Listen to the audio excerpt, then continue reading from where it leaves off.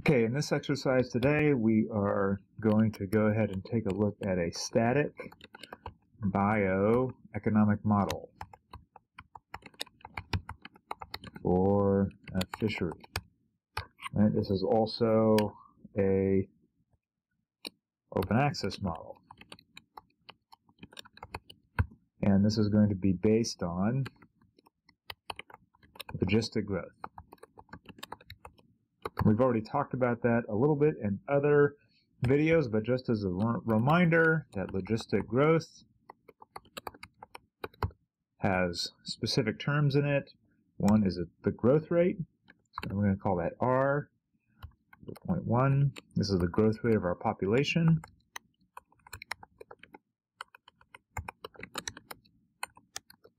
It has a carrying capacity, call that K, make that 100. And in this case, we are going to specify a population size from 0 to 100. And so our recruitment from this population size from 0 to 100 is going to go something like this. It's our growth rate times what our population is, 0 to 100, and that is in fact modified by this 1 minus n divided by k term. That is logistic growth. So we'll go ahead and run these things. Oh, we got a multiplier here. Go. And what we're going to do now, just to give you a sense of this, is we're going to plot n versus rec. So that is going to be the stock size versus recruitment. Oh,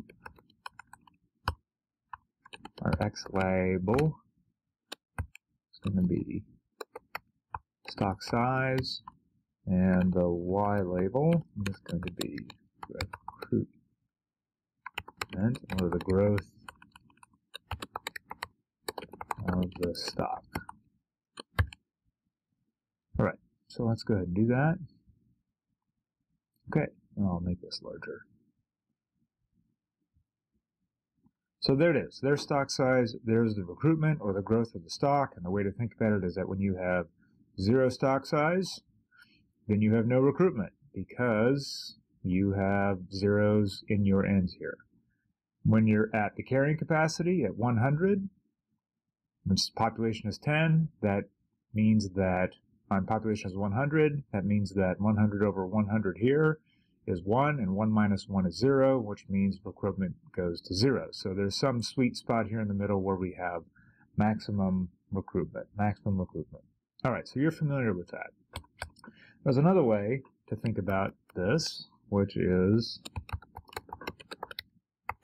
logistic growth that is time dependent.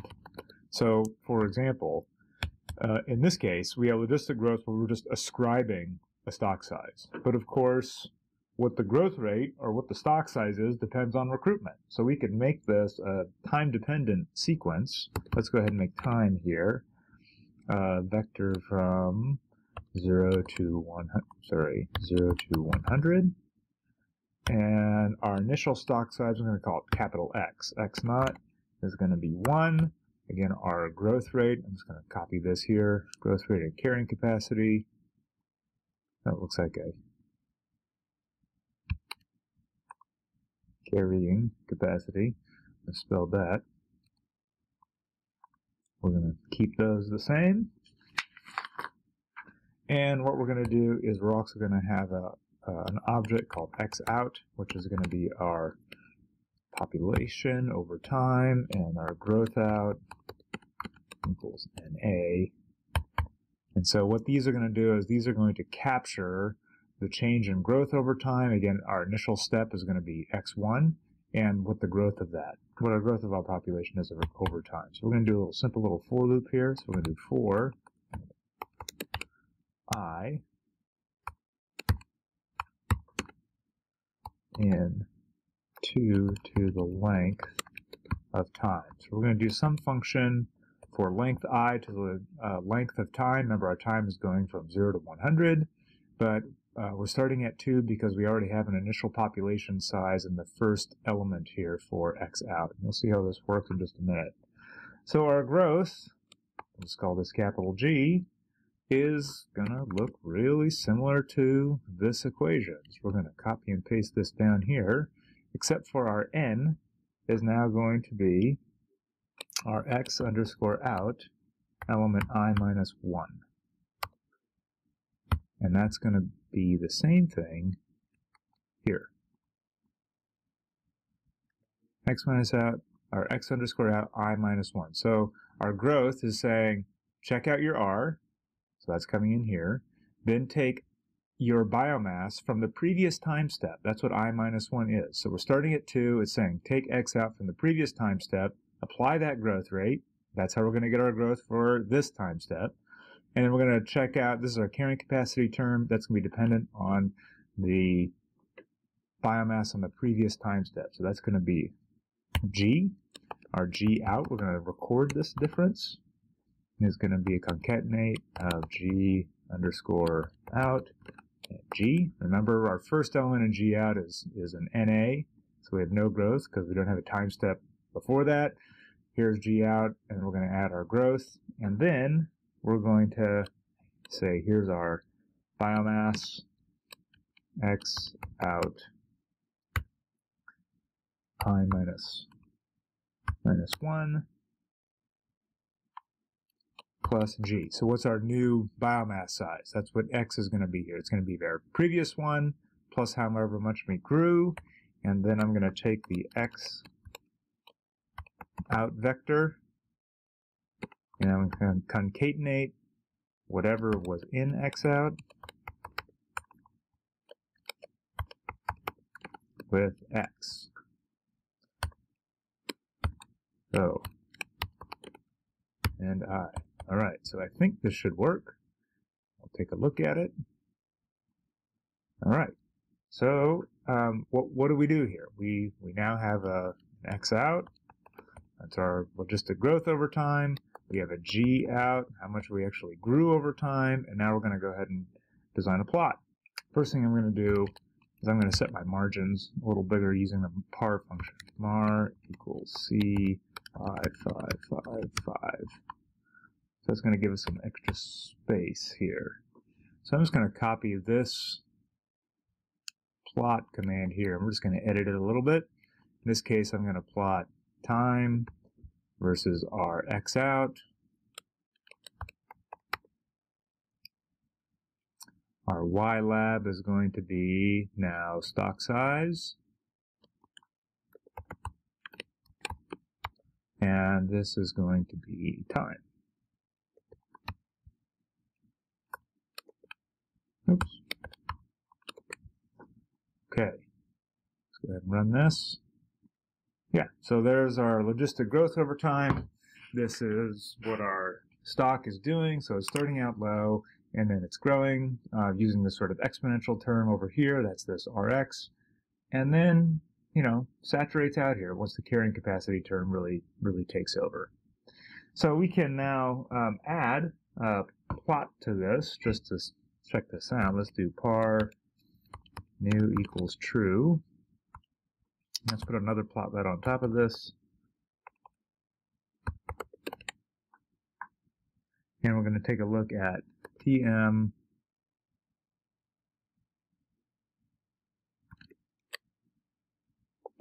g out type equals L. Line weight equals 2. Color equals blue, uh, axes equals false, xlab equals nothing, and ylab equals nothing. So what this par equals new does is that we're just going to throw a plot right on top of our existing plot. And what we see now is that this is now the growth um, over that time. We just need to add the right axis to it. So I'm going to go ahead and use axis 4. So growth is now on this axis over here, and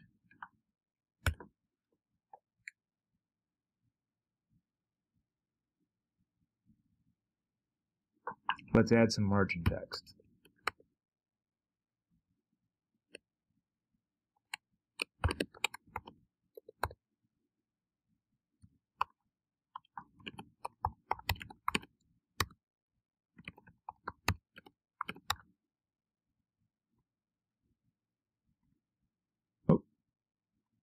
This should be side. I'm going to run this whole thing again here. There we go. Growth's over here. There's stock size. And now let's just add a legend.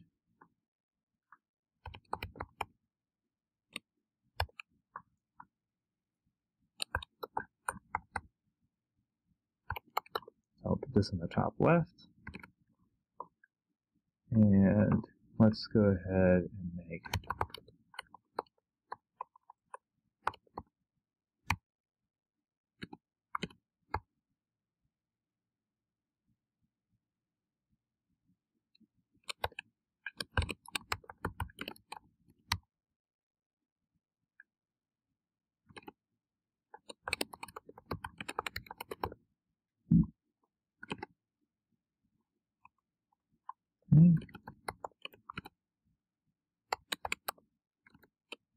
So all this is doing here is I'm going to make two legends. The point character is going to be category 1. For these points, these are open circles, and then no point character for our line.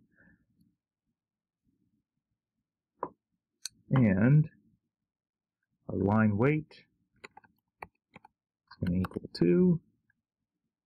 Our color is going to be concatenate black, blue, and our gy equals n. So no box around our legend. This should work. There we go. So there's our stock size and our stock growth. Okay. So you notice it looks a little bit different than what we were looking at before, and that's because this is time dependent. Uh, but we can replot this. We can actually replot if we want to get back to what's our recruitment versus stock size, you'll see that we can go plot X out, G out. So this is our stock versus our recruitment in our time dependent sense. And X lab is going to equal, actually I can probably just pull that from up here.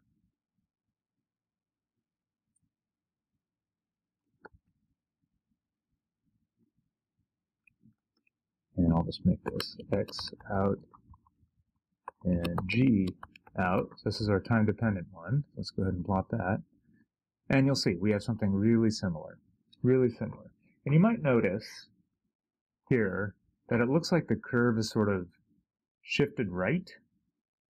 And especially if we compare it, in fact, let's do this. Just compare this to add the points from our time independent function up here, where we're just describing biomass the biomass isn't sort of evolving through time or changing through time, we can see we have points for N and recruitment. These are our other two. And we'll do type equals O. Equals 2, color equals blue.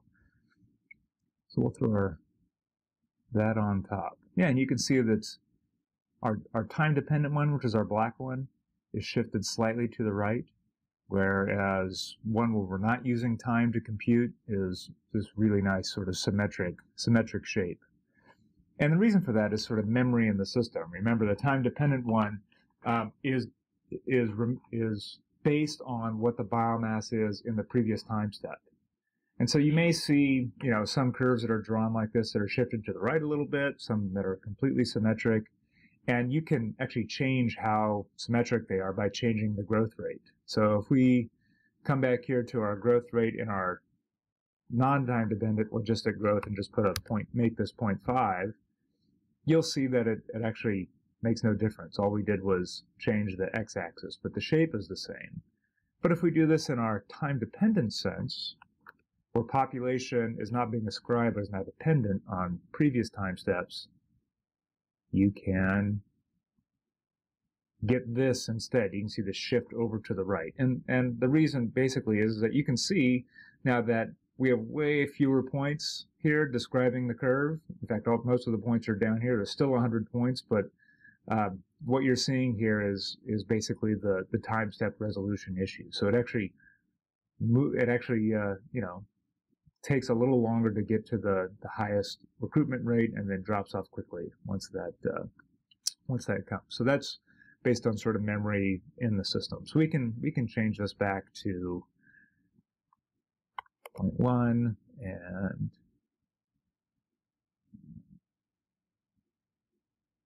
where's our other one? There's point one there, and here we go, point one. But if um, so, so that may tell you why it is that every once in a while you may see some of these curves shifted over slightly to the right, but that shouldn't worry us here too much. That's mostly related to uh, sort of trying to capture the time dependence of the system. We're not totally interested in that today because we're dealing with a static model where we're thinking about things in equilibrium. So let's just pretend that we know that based on these curves that there's some maximum recruitment and that what we want to do is say this is we know this is our our biomass maximum sustainable yield. In other words, when the population's at this stocks at this level, this is when we're going to get the most yield from the fishery. It's when it's most productive. Let's go ahead and just pretend that our harvest is equal to growth. That our growth is going to be exactly equal to harvest. And change the x-axis from stock size to growth. Okay, so what does that actually mean? Well, let's just make a couple notes to ourselves. growth in this case is logistic. Remember, growth is our uh, yeah, is our logistic curve. I'll just put that in here. So growth. Remember our our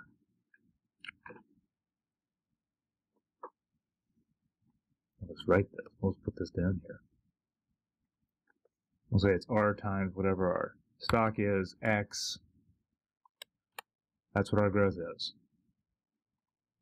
And we know that harvest in this case is based on the catchability of fish, which is usually expressed as Q, and Q is usually some variable between 0 and 1. So way to think about it is that you put a net in the water.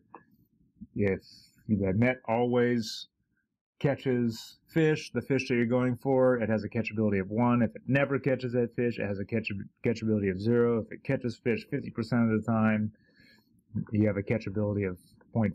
So that's our catchability quotient, our effort, which in this case, again, is bounded between 0 and 1. And our stock size or number of fish, which in this case is just x.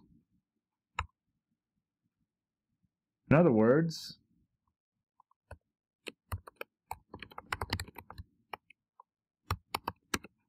this is equal to catchability times our effort times our stock. So here's growth, and here's harvest. All right. There's a couple of things that we're going to need to figure out why this is important. The first thing is price. So this is just going to be the price of fish. This is going to be in dollars. And cost is going to be, let's just make this 5, the unit cost per unit effort. This is also in dollars. So let's go ahead and make our harvest. In this case, let's just make this H, capital H, is our rec. And what did we say rec was? Rec was just our recruitment from up here. So let's just make it that. So that's our, that's actually our, our blue line here. I'm just going to say this, that harvest to growth.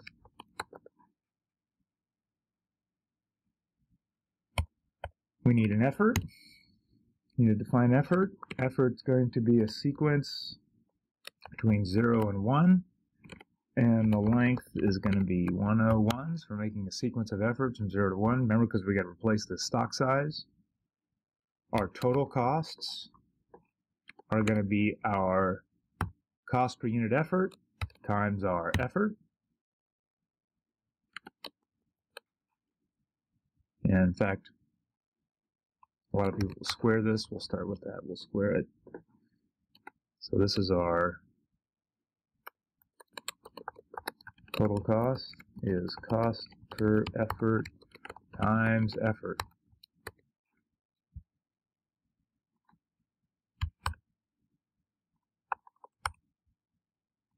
What else do we need?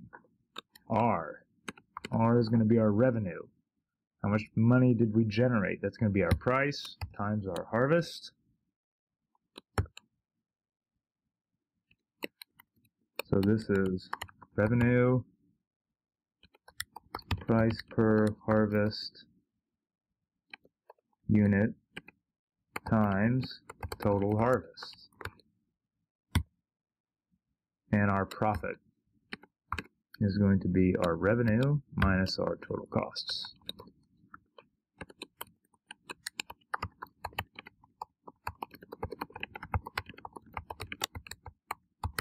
Okay. So let's go ahead and run these.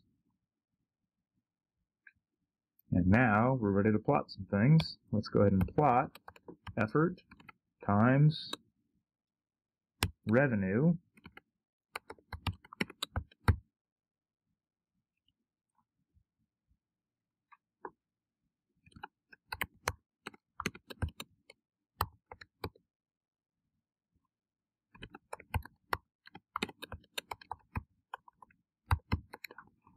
Okay. And surprise, surprise, it's going to look just like the growth that we had because what we have decided is that harvest is equal to our growth and our revenue is basically our price times our harvest. And right now price is one. So it looks almost identical. In fact, identical to that our lines, we're going to add an effort line. Effort and total costs. Color is going to be red. Two, okay. So this is how total cost is changing.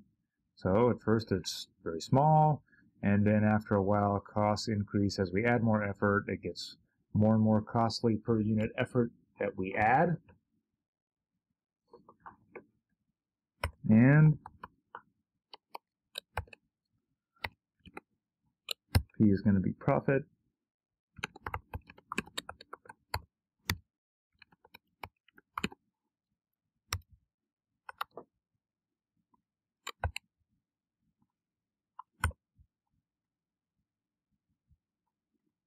All right, so here's our profit. So we'll see that profit is increasing, pretty much in line with revenue, but then costs costs start to go up and we really start to lose profit then.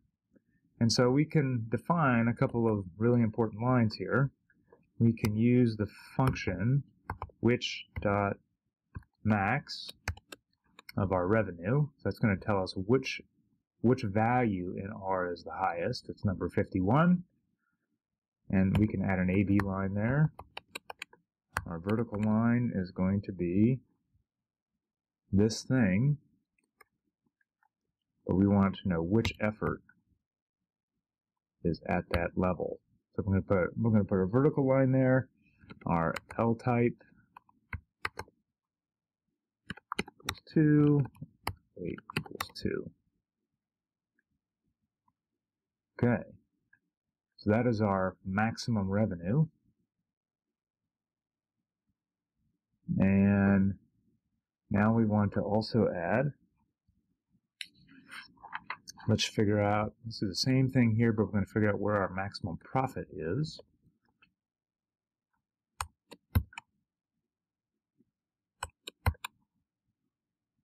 line type, I think we're going to do line type equal 3.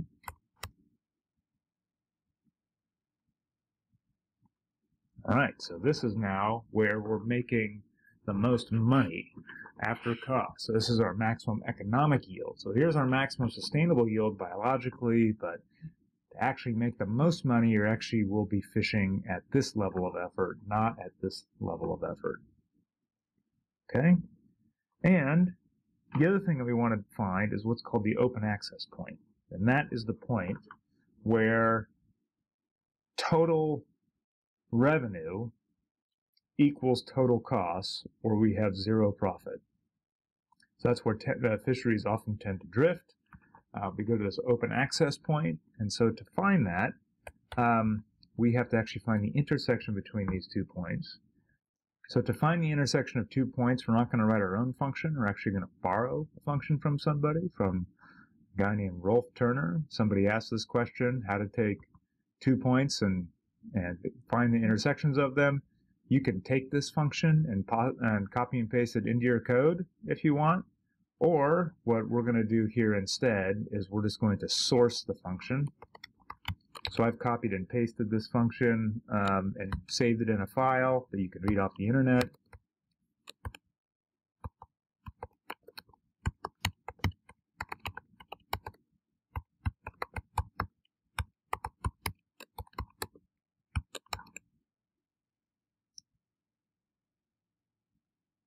So if you take this thing and dump it into a web browser,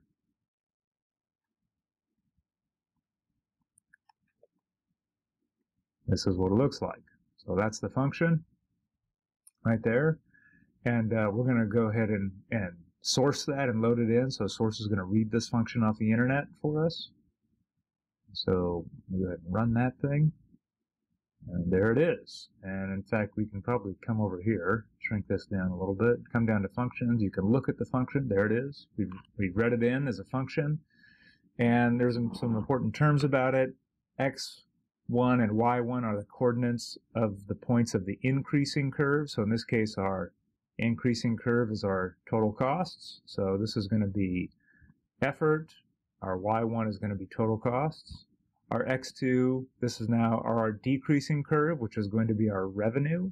So that's going to be our, x2 is going to be defined by effort and also by our revenue here. So let's see how that would work here. Let's just go ahead and define that. Our open access point, we're going to use the function find int, which is a function we just read in from the internet and we're gonna it's gonna be E, G, C, E, and R. So we can run that thing. Here is OA. There is the point where they are intersecting at X and Y. So at 0.66 and 2.22, that looks about right, right there. And all we're going to do is we're going to drop a vertical line there. So we're going to use our AB line here again. And we're going to want to put in a, first element, which is this, this thing here. Line type is going to equal 4. There it is. There's the open access point. And it'd be helpful for us to actually make a legend here. So we're going to edit some of our legend text from here. Put a legend on this guy. So it's top left, in this case, our legend is going to be four things, four curves. We're going to have revenue, total cost, profit,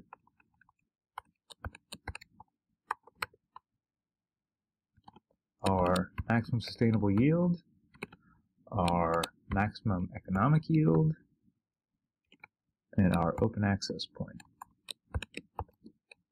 Okay, those are the, we got one, two, three, four, five, six. We have six curves on here. We have one here, two there, three there, and then there's three vertical lines.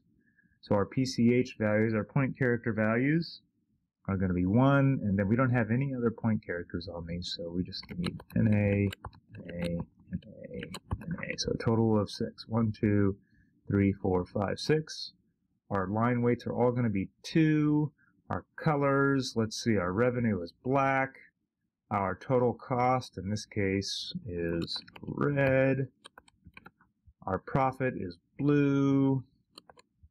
And then our next three lines, these vertical lines, are black. Let me just put three of these in here. Okay. And the last thing that we need is our line types. Our LTY. Um, so our first line, first three are all ones. They're all nice solid curves, but then we diverge into twos, threes, and fours. And that reflects our AB lines here. And I think this will work. Run that. Nope. We have an error here. Oh, here. We need a comma. There we go. So there's our revenue. Okay. Total cost is going up. Profit is here. Maximum sustainable yield is right there. Maximum economic yield is here, and open access is this direction. And so what you can do is you can actually come back in here and mess around with some of these. Let's suppose if we increase the price from 1 to 2, that now is should increase our profits. And you can see how that would work. Yep, and so now our profits are higher and it pushes the open access level even further over, pushes the maximum economic yield closer to the maximum sustainable yield.